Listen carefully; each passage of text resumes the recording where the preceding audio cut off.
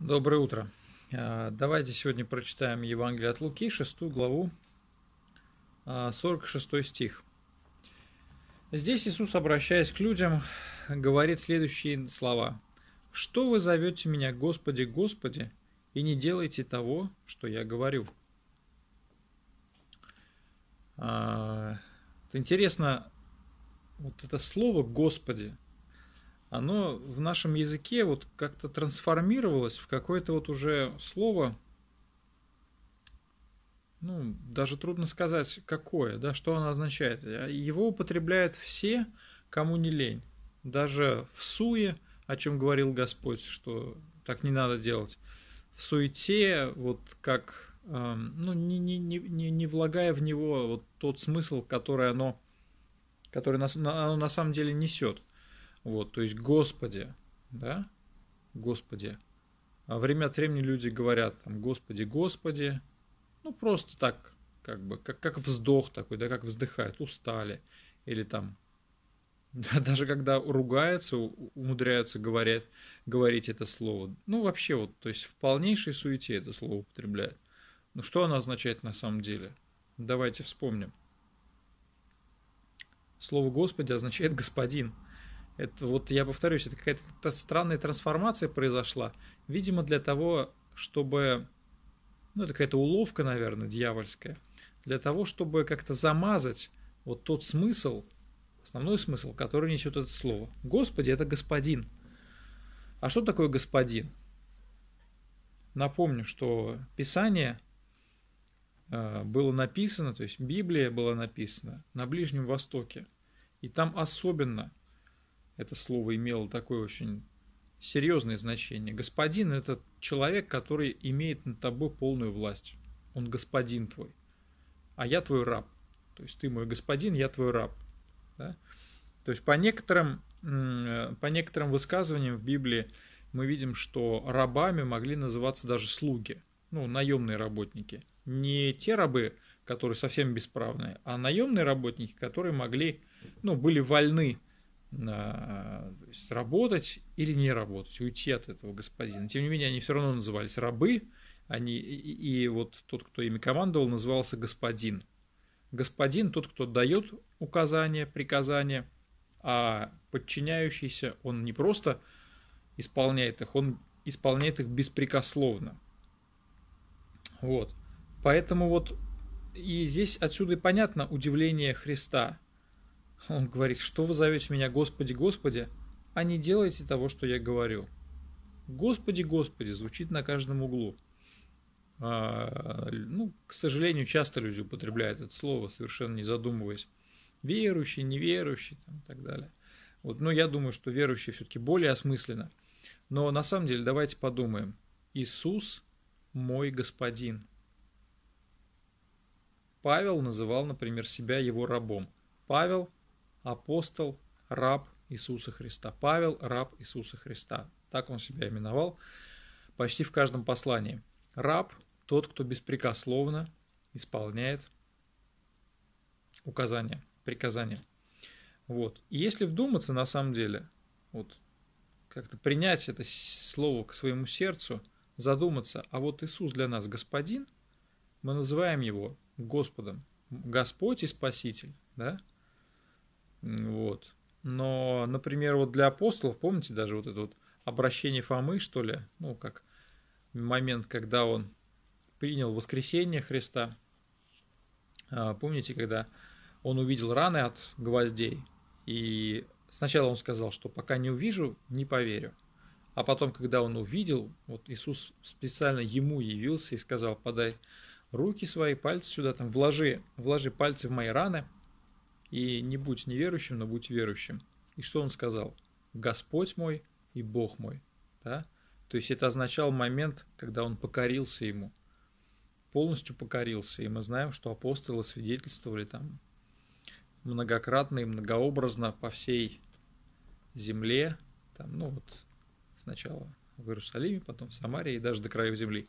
То есть смотрите, а, покорность Господу совершают чудеса на самом деле, смирение перед Господом. А, но все начинается с признания. Все начинается с признания, когда мы по-настоящему признаем Христа своим Господином. Как сказал Исаия, вот я, пошли меня. То есть, опять, да, покорность. Бог тогда спросил, кто пойдет для нас? И Исаия услышал это и сказал, вот я, пошли меня. Исаия не знал, куда Бог его посылает. Может, он его посылал, ну, то есть, что, что это было за место? Это были Мальдивы или это был Магадан? Ну, в нашем, да, в нашем контексте, в нашей системе координат. Это было хорошее место или плохое? Или в той системе координат это была Ниневия, куда так Иона не хотел идти, откуда он бежал? Или это было что-то получше, поприятнее? Но ветхозаветным пророкам все время доставалось, там мало кто был в чести, в чести. Вот. Я говорю о покорности. Да? Является ли Иисус на самом деле нашим Господом? Или мы как, а, как а, такие отрицательные персонажи Библии, которые на самом деле, а, может быть, даже и молятся, может быть, даже и Библию читают, но не делают того, что там написано, не делают что, того, что угодно Господу, не покоряются Господу. И надеюсь, что мы не из таких, но тем не менее, задуматься стоит. И на самом деле, может быть, мы покорились Богу в глобальном смысле, мы приняли Его спасение и считаем себя верующими, являемся себя э, верующими в глобальном смысле, да, вообще. То есть мы получили спасение, мы идем на небеса. А как насчет вот нашей повседневной жизни? Покоряемся ли мы Господу в нашей повседневной жизни? Потому что там, где Дух Господень, там свобода, от свободы от греха, от зависти, от раздражения, от слабости, от неверия. Там свобода. И смотрите, есть ли эта свобода у нас? Есть ли у нас это смирение перед Господом? Или мы говорим, да, Господь, я знаю, что ты, что ты хочешь, чтобы я делал то и то, но извини, не могу. Или извини завтра. Или извини, когда чего-нибудь, да. В понедельник, 1 января начну. Ну и так далее, так далее, так далее. Что вы называете меня Господа, Господи, Господи, зовете меня Господи, Господи, и не делаете того, что я говорю. И слова Иисуса, обращенные к нам, ко всем. Вот. И здесь можно пойти даже дальше, и нужно пойти даже дальше. То есть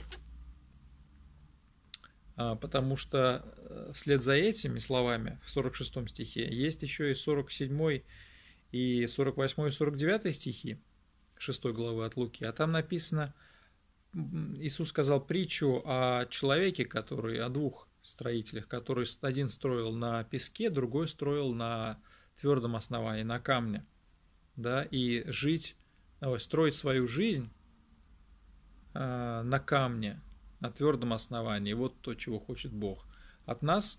Но это ведь процесс. То есть дом не строится вот по щелчку пальцев, не возводится.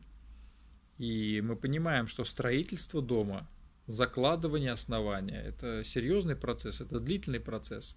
Но я вижу, что эта притча стоит сразу же после этих слов в 46 стихе. «Что вы зовете меня, Господи, Господи, не делайте того, что я говорю? Что хочет Бог, чтобы мы делали?»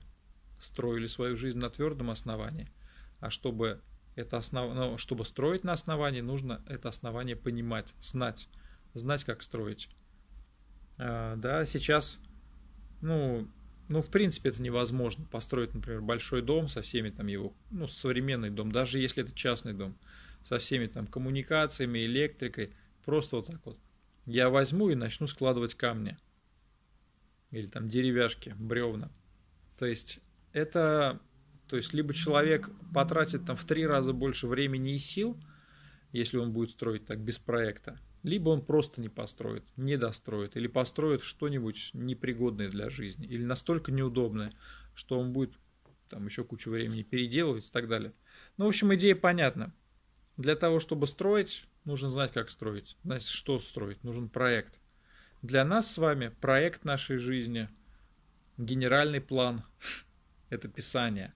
Естественно, он не выглядит как смета, он не выглядит как такой план э, с пунктами. Пункт 1, подпункт 1.1, 1.2, потом идет пункт 2, подпункт 2.1, 2.2, 2.3. Люди технического, технического склада понимают, о чем я говорю. Не технического, я думаю, тоже понимают. То есть Библия не выглядит так, но тем не менее она такой является, она выполняет эту функцию. То есть Господь имеет для нас план нашей жизни.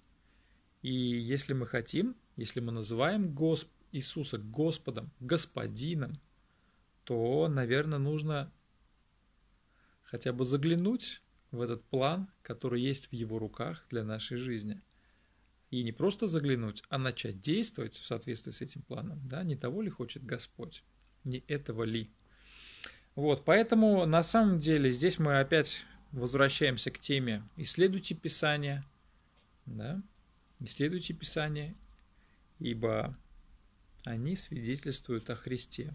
То есть исследуйте себя, исследуйте Писание. То есть вот к чему призывает нас Библия, и не просто исследуйте, а и исполняйте то, что они говорят.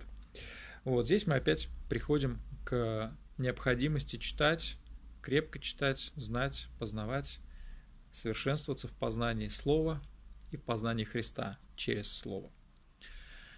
Отец наш Небесный, научи нас, пожалуйста, не просто говорить правильные духовные слова, но если мы называем Тебя Господом, то и поступать в соответствии с этим.